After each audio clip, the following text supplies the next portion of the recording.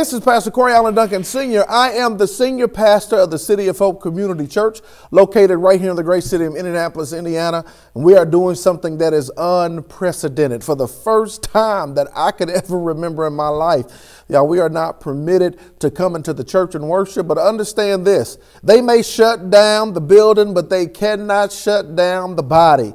That we are the body of Christ. As a matter of fact, in the book of Acts, they met at the homes daily, preaching and teaching the word of God. So I'm so excited to have this opportunity to come to you virtually, digitally, uh, for this online experience and to share the word of God with you on today. Look, I want to call your attention to the book of Matthew, Matthew the 14th chapter. I have a word that I believe it is relevant, it is real, it is raw, it is going to meet you right where you are, and it's going to be a blessing to you. Matthew the 14th chapter, starting at verse 22. I want to pray with you. Father God, we thank you for this day.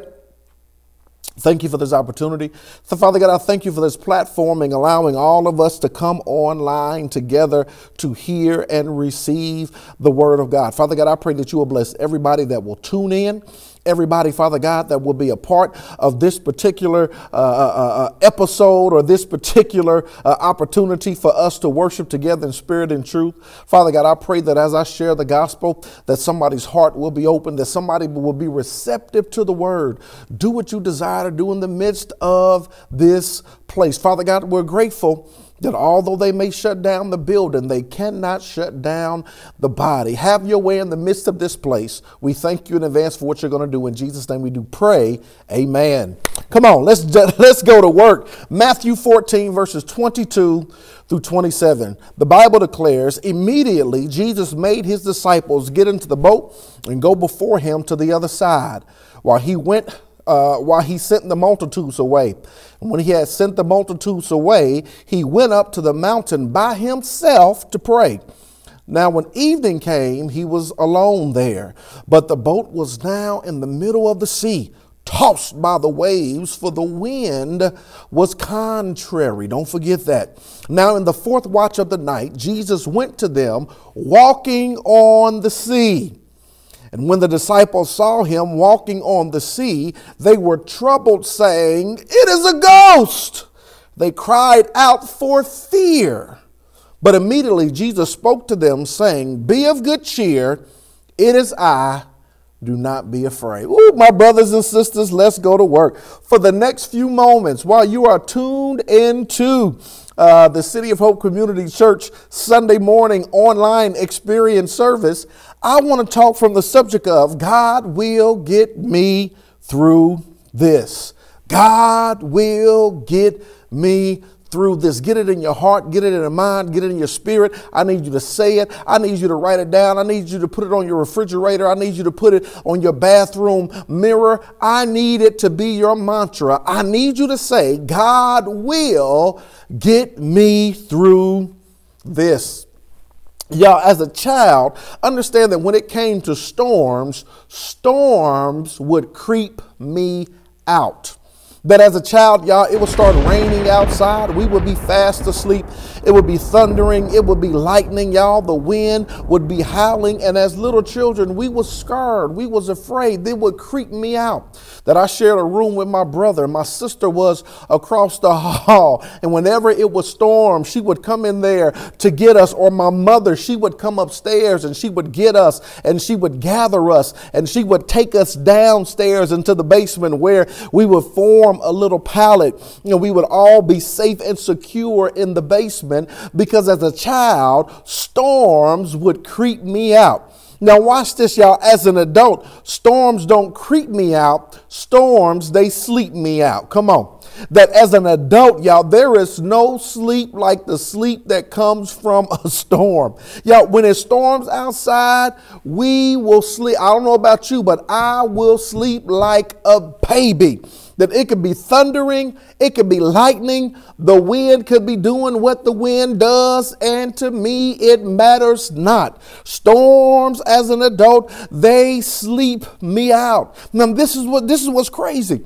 You may ask yourself, well, what's the difference between being a child and what's the difference between being an adult? Why is it, Pastor Duncan, that as a child, storms would creep you out But as an adult, storms, they sleep you out. Now, watch this. I believe that your mentality is based off of your maturity. Mm, I just said something. I believe that your mentality is based off of your maturity.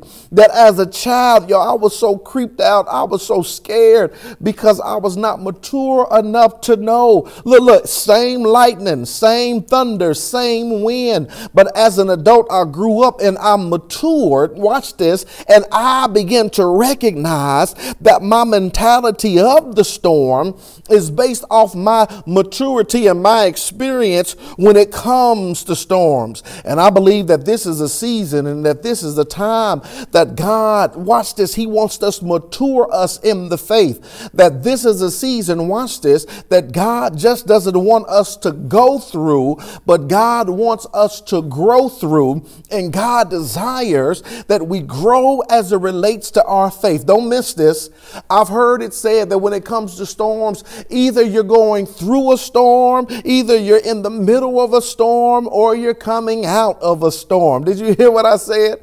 That they said when it comes to storms, either you're going in a storm, you're in the middle of a storm, or you're coming out of a storm. And all, I, am reminded of that old school song, There's a Storm Out on the Ocean, and it's moving this old way. And if your soul's not anchored in Jesus, you will surely drift away. I don't know if you've been in tune to what's taking place in our nation, but if you check the weather report around the country, they're saying that it's cloudy with the chance of sickness, sadness, and suffering that if you check the weather report, they're saying it's cloudy with a chance of death, destruction, and devastation. If you check the weather report, they're saying it's cloudy with a chance of mishap, misery, and misfortune. Come on, good times. If you check the weather report, they're saying it's cloudy with temporary layoffs, easy credit ripoffs, scratching and surviving, hanging in a child line. That it's cloudy with the chance of the coronavirus. Y'all, we are in the midst of a storm in our city, in our nation, in our world. We are in the midst of the storm. But I didn't come to stress you. I didn't come to depress you. I came to bless you and to let you know that God will get me through this. God is going to get us through this. Come on, I know you're not here with me uh, virtually, but I need you to air high five somebody across the room and just let them know that God will get us through this. Y'all watch this as we begin to wade into the waters of the word found in Matthew, the 14th chapter. We see Jesus preaching and proclaiming principles and parables that are practical, portable, and primarily profitable for a prosperous life. Come on, Dr. Seuss, who? I said that as we wade through the waters of this particular text, we see Jesus doing what Jesus does. And what's amazing about the 14th chapter of the book of Matthew, it starts out kind of hard that Jesus gets word that he loses John the Baptist, that his homeboy, his cousin, John the Baptist, is beheaded, and Jesus tries to steal away to process and digest what's happened to his loved one. But even when he tries to steal away, the Bible says the crowds, they found out where he was and they went and bombarded him. And Jesus looked at them as with compassion and he begins to heal the sick and minister to the people. Then we see Jesus feeding the 5,000 besides uh, uh, men, besides women and children. And after all of these things takes place, Jesus tells his disciples to get into the boat going over to the other side because he's going into the mountains to pray. Now, don't miss this, y'all. Very important part, major key alert I need you to get. Watch this. He tells the disciples to go on to the other side. Watch this. He's going into the mountains to pray. Don't miss this, y'all. We see the Savior seeking solitude. Oh, I'm going to say that again. And that particular point, we see the Savior seeking solitude. That Jesus teaches us a very practical, powerful, and poignant lesson that he teaches us how to press pause. Now, this is what you need to understand, y'all, that when it comes to self care, self care is not selfish. That, that it's been said that you cannot pour from an empty cup that there's a reason why the airline stewardesses will tell you that in the case that there's a loss in cabin pressure, they will tell you to secure your mask first before you try to help somebody else. Because if you do not secure your mask first, you will not be good to anybody else. Jesus, he teaches us how to press pause, that the Savior is seeking solitude.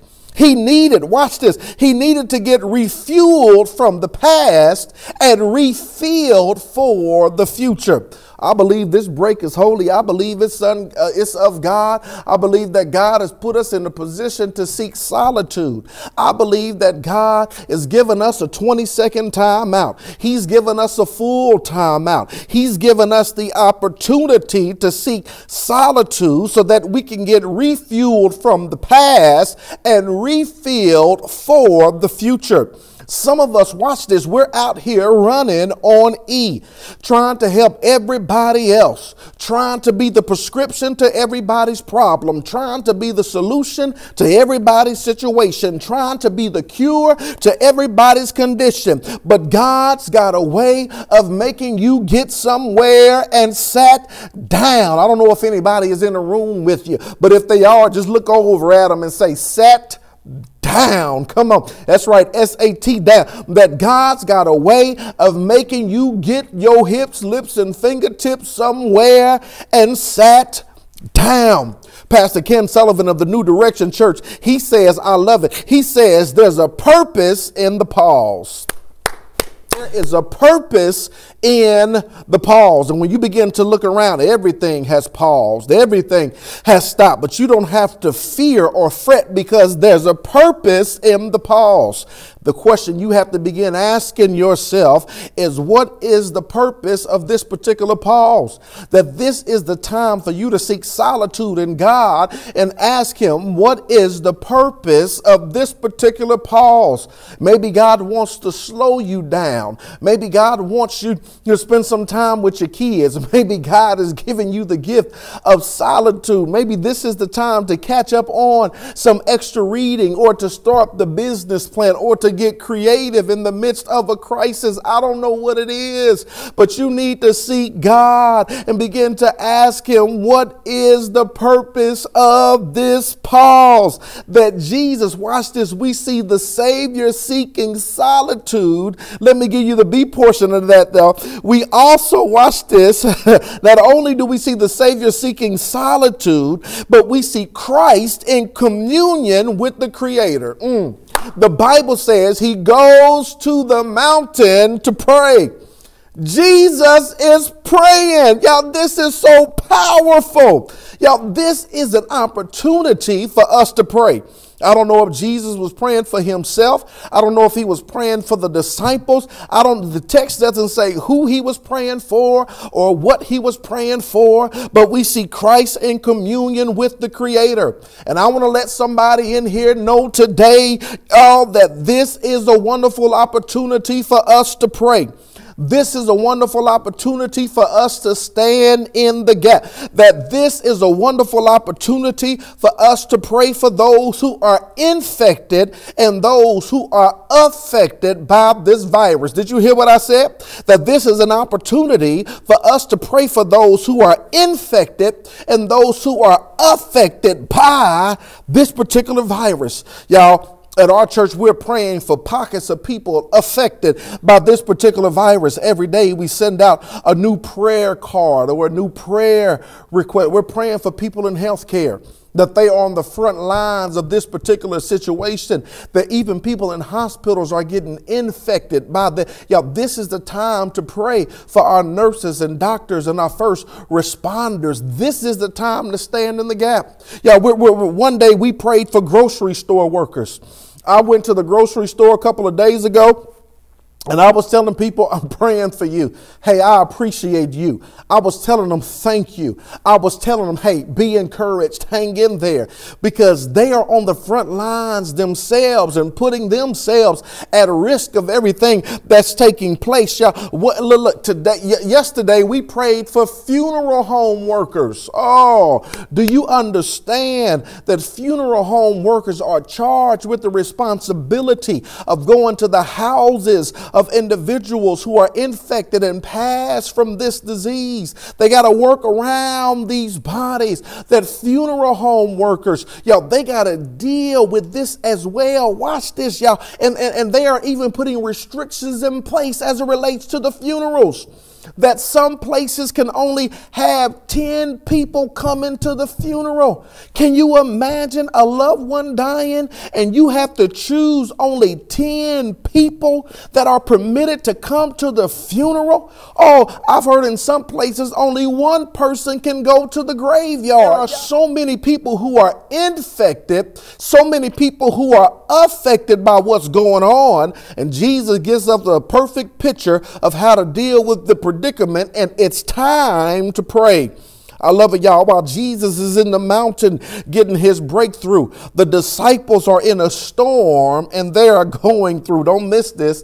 That verse 24 of Matthew 14 24 says, But the boat was now in the middle of the sea, tossed by the waves, for the wind was contrary. We're going to come to that, y'all. Can I give you a little uh, uh, uh, a background so you don't miss the breakdown? Understand, y'all, that the story continues to unfold at the Sea of Galilee, which lies in the lower portion of the Jordan Valley in a mountain range that rises to 4,000 feet above sea level, that the lake itself is 700 feet below the Mediterranean Sea that one of the more noteworthy aspects of this particular body of water is that it is greatly susceptible to sudden and extremely violent storms. Don't miss this. That these storms are caused by the cold air rushing down from the mountains surrounding it and colliding with the warm, moist air rising off the surface of the water itself. That these conditions have caused a violent storm to arise, and the disciples are smack dab in the middle, in the middle of the storm.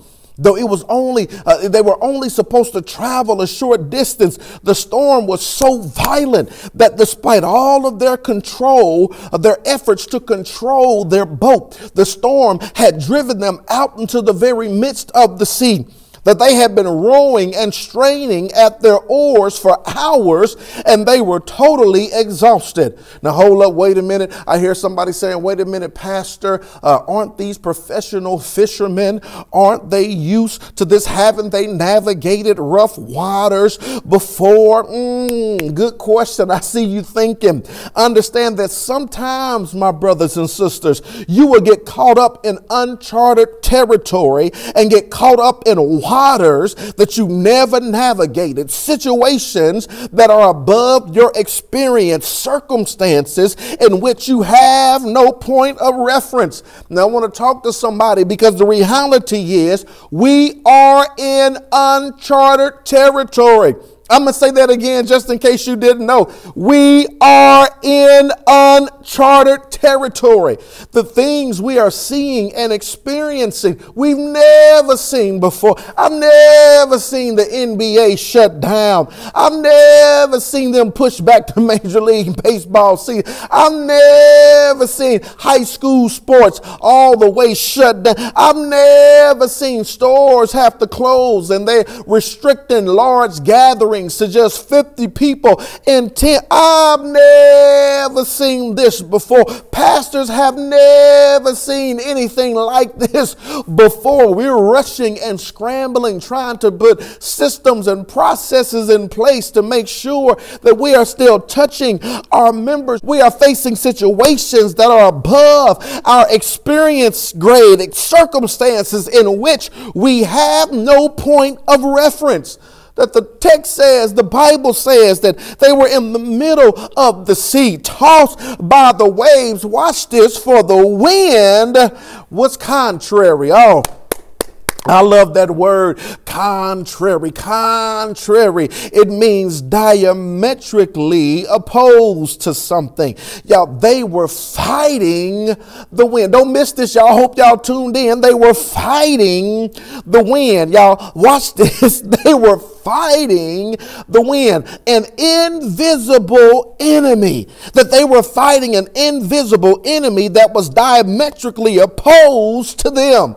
Oh, when it comes to this, understand we've been here before, that right now we are fighting an invisible enemy, that this disease is an invisible enemy. They talk about you don't know who has it and who doesn't has it, that it takes for some people seven to 14 days for any type of uh, symptoms to show up. They talk about that it can live on clothing and on uh, various objects for an extended period of time. We are fighting an invisible enemy. That's why it pays to just stay at home. If you ain't got to come out, don't come out. Stay at home. Learn how to cook. Quit going to church's chicken and buying jalapeno poppers and stop y'all going out to eat. You don't know who has it and you don't know who does not. We are fighting an invisible enemy. I got a call yesterday from an individual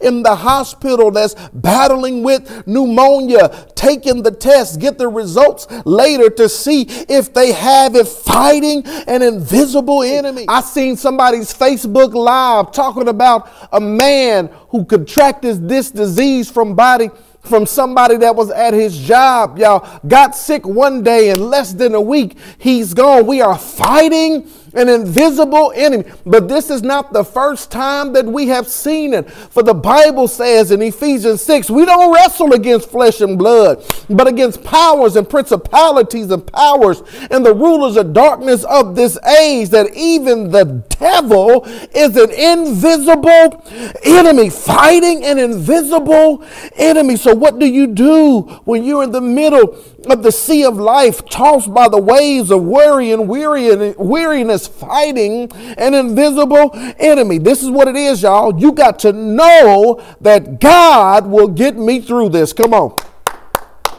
Get it in your heart, get it in your mind, get it in your spirit that God will get me through this. Pat yourself on the chest, make it a mantra, repeat it. God will get me through this. But you're going to ask yourself, how, Pastor Duncan, how will God get me through? Let me run you, uh, uh, wade you through the waters of the text to let you know. Now, first of all, three things I want to share, and we're going to shut it down. Number one, God will get me through by meeting me in the middle.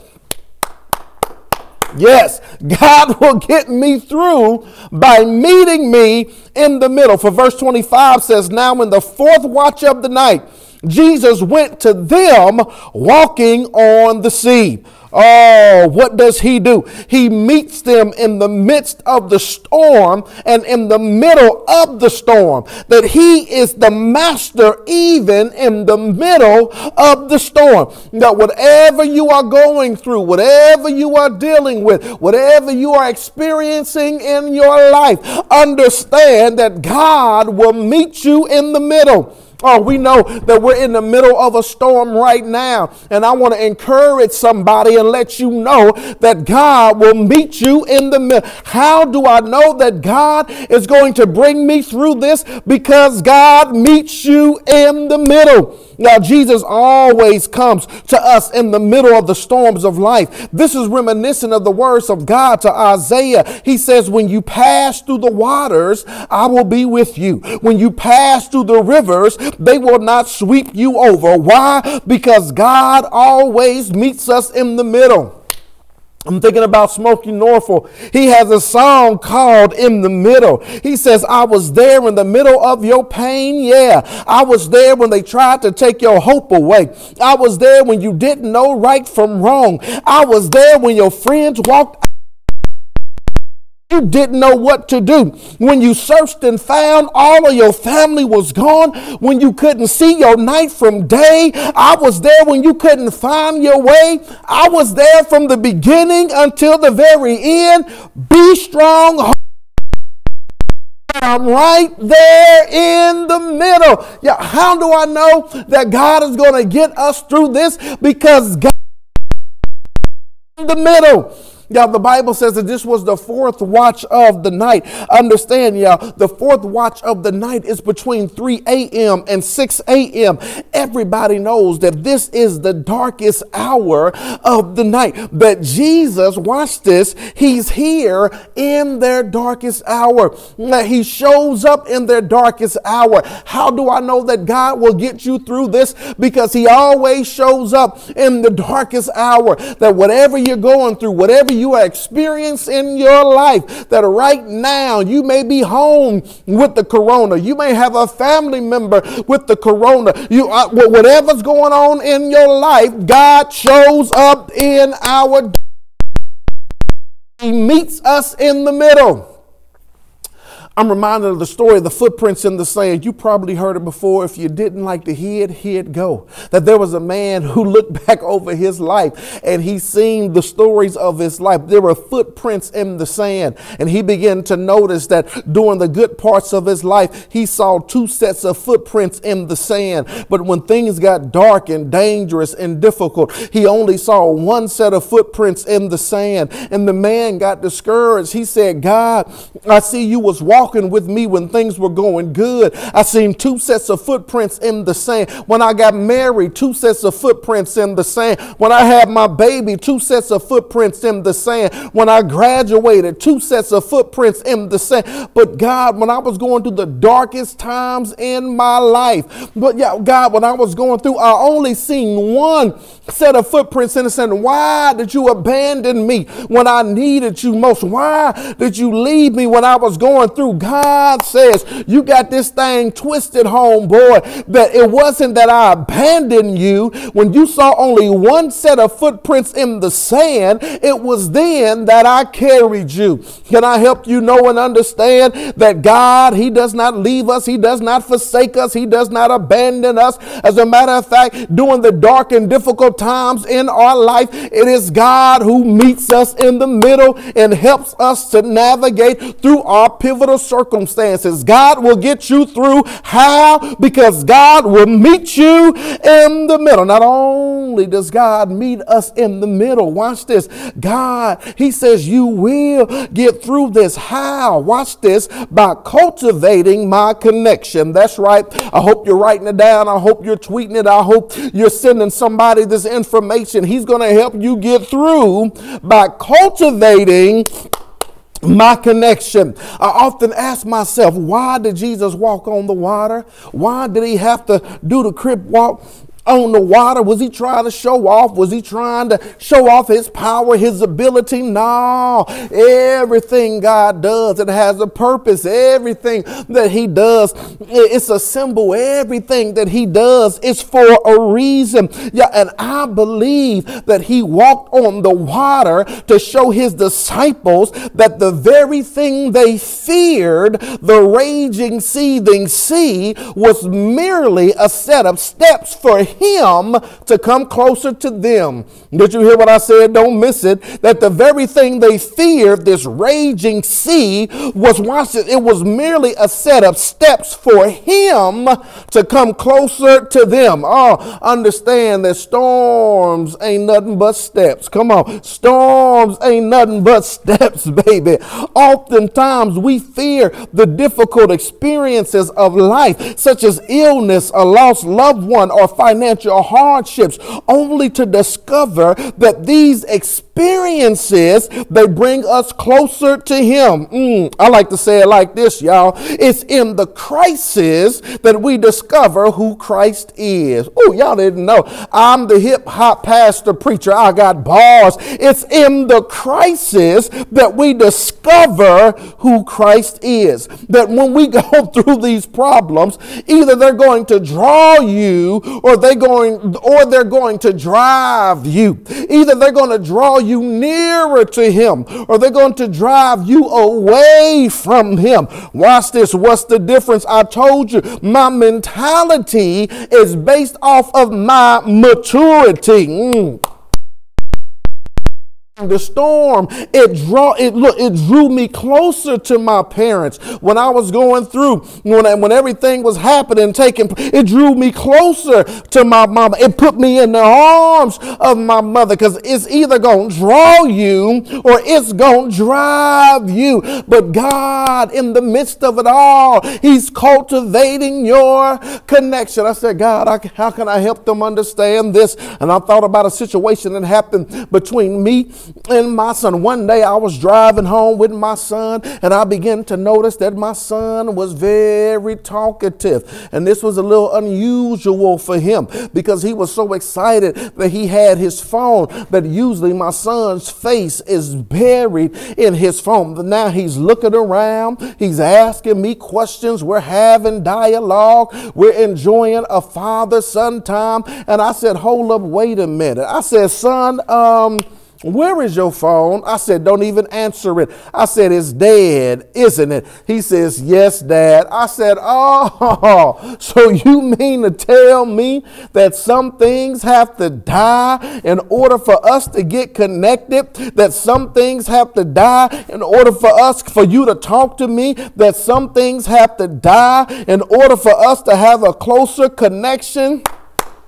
I don't know who I'm talking to, y'all, but understand, y'all, storms ain't nothing but steps. And oftentimes we go through things because God is trying to draw us closer to Him. Sometimes things have to die. He'll let the business shut down, He'll close down the universities, He'll dry up the money, that things will happen in our life opportunity for us to draw closer to Him. It's in the crisis that we discover who Christ is. Oh, you're gonna get through this thing. Pastor Duncan, how do you know I'm going to get through this thing? I already told y'all. Y'all watch this because he's going to meet you in the middle. Number one, understand he's cultivating your connection. Number two, but last but not least, when we out of here, you're going to get through this. Watch this by walking in faith and not in fear. You're going to get through this by walking in faith and not in fear. Verse 26 And when the disciples saw him walking on the sea, they were troubled, saying, It's a ghost. And they cried out for fear. Please understand this, y'all, that fear and faith cannot live in the same heart, that they cannot occupy the same space or the same place. For fear frequently blinds the eyes to the presence of the Lord.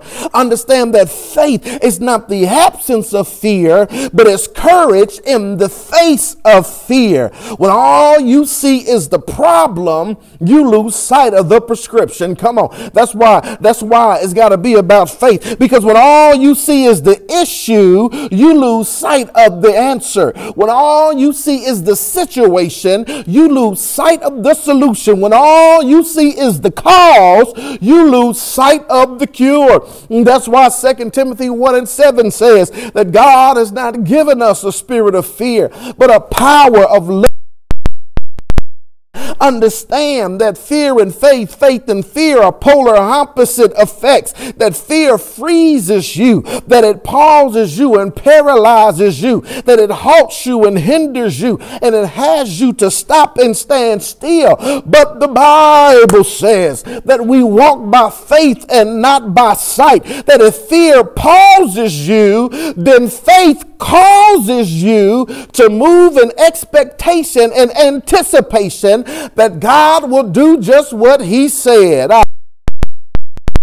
He say, preacher, that he'll never leave you and he'll never forsake you, that God will do just what he says. Lo, I am with you always, even until the end of the world. That God will do just what he says. He says, in this world you will have tribulation, but be of good cheer, for I have overcome the world. That God will do just what he says. He says, the Lord is my light and my salvation. Whom shall I fear? The Lord is the strength of my life. Of whom shall I be afraid? Is going to do just what he said. Well, what did he say, preacher?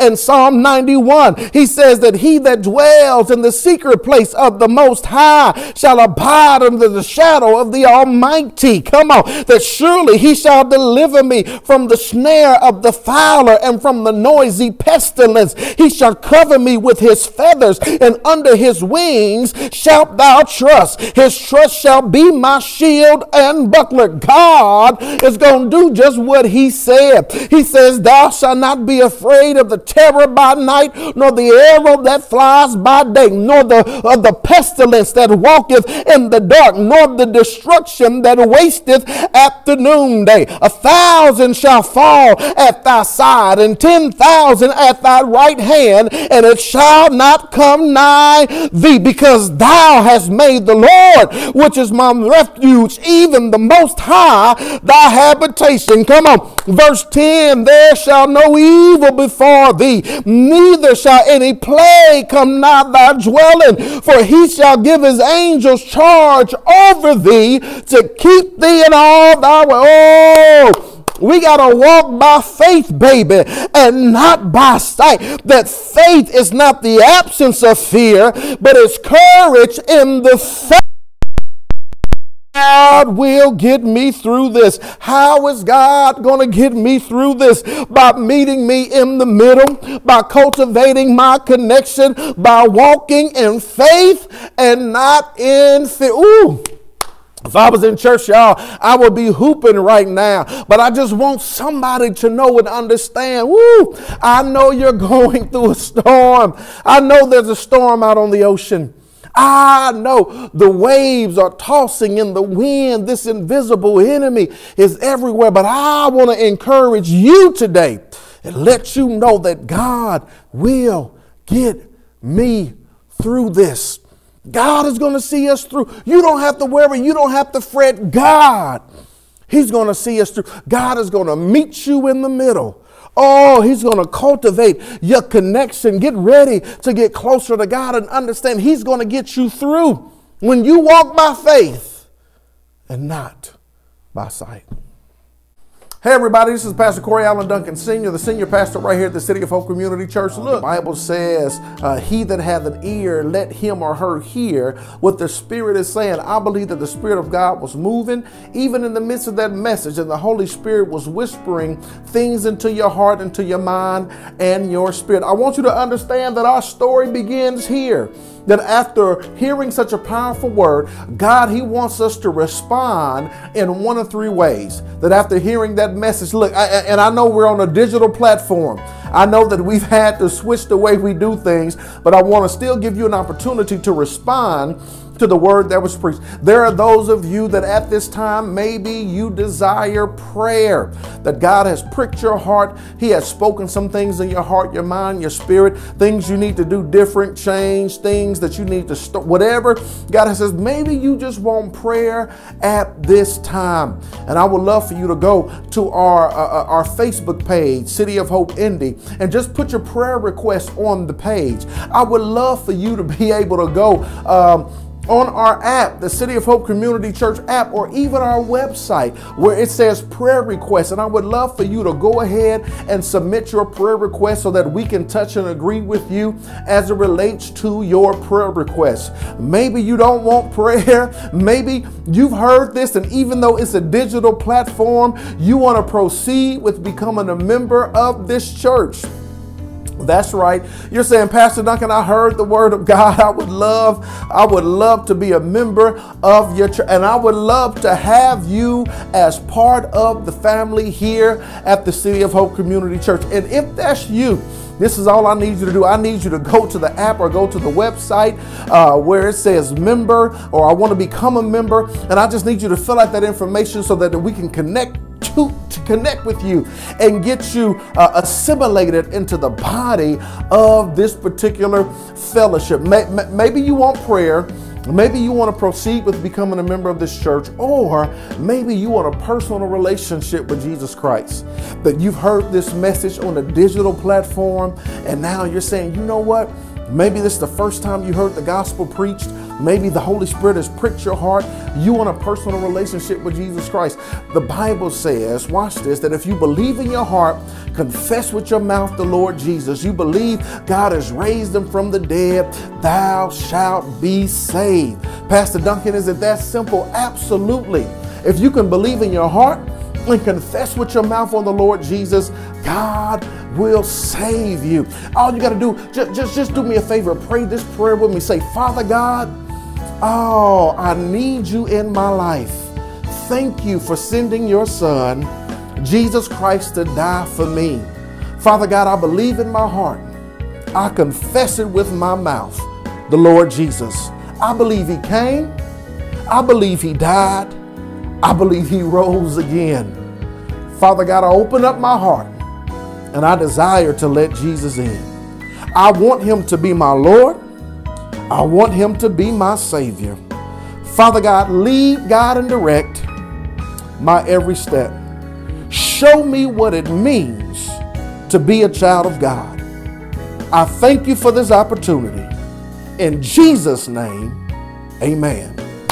Look, if you prayed that prayer, it's definitely the first step, and we want to connect with you regarding the final step. I told you our story begins here. If you prayed that prayer, go to the app, go to the website, cohnd.org and I need you to let us know that you became, that, that, that you believed in Jesus, that you accepted him into your heart today so that we can reach out to you and get connected. Hey, this is Pastor Corey Allen Duncan Sr. I'm so very excited to have had this opportunity to come into your living room, to come into your house and preach the gospel. I want you to tune in next week to hear what thus saith the Lord. If you want more information about the City of Hope Community Church, visit us at www www.cohnd.org. Look, I love you with the love of the Lord, and I look forward to our time together on next week. Be safe out here.